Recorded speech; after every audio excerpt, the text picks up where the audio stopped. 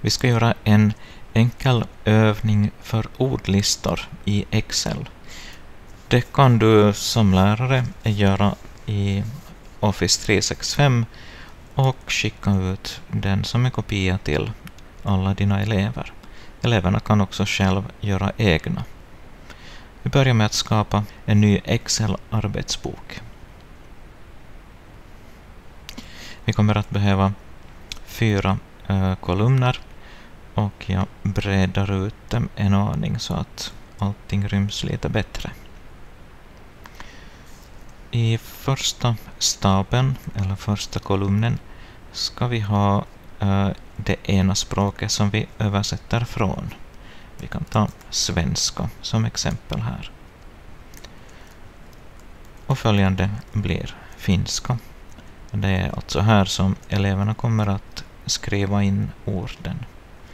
Här har vi uh, en kolumn med rätta svar och så har vi en kolumn med resultat.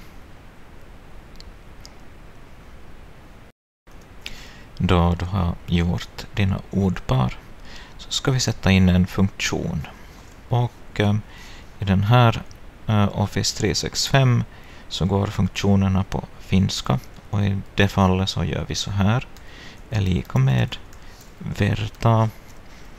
Och här ska jag då alltså jämföra elevens svar här. Semikolon. Och eh, ditt facit här. Och parentesen slut. Nu ger det som svar icke sann, men då eleven skriver eh, äh, rätt svar så ändras innehållet i cellen till sann. Om du har en svensk Office 365 så är, använder du kommando exakt. Och är det engelska så är det också exakt. Nu behöver du inte skriva om det här för varje mm, ordskilt utan du tar tag i den lilla fyrkanten och drar neråt. Och nu kan du testa här om det fungerar. Och det gör det. Innan du skickar den vidare så ska vi gömma äh, facit. Och jag väljer kolumnen, högerklickar och väljer dölj.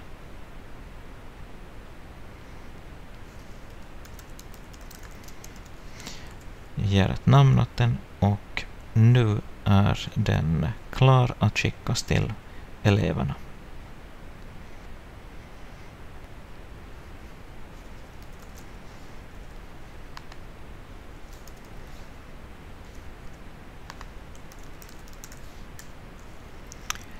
Och nu ska jag infoga. Och så väljer jag ordlista. Väljer nästa. Och här är det viktigt att du skickar som en bifogad fil. Om du delar med OneDrive så har du endast en övning och då den första eleven har gjort den här övningen så då finns alla rätta svar kvar i den övningen. Skickar du som bifogad fil då får alla elever varsin ny oanvänd ordlista.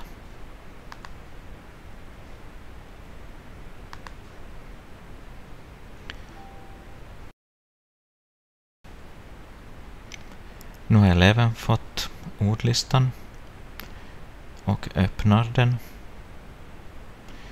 Och då ska eleven välja redigera en kopia.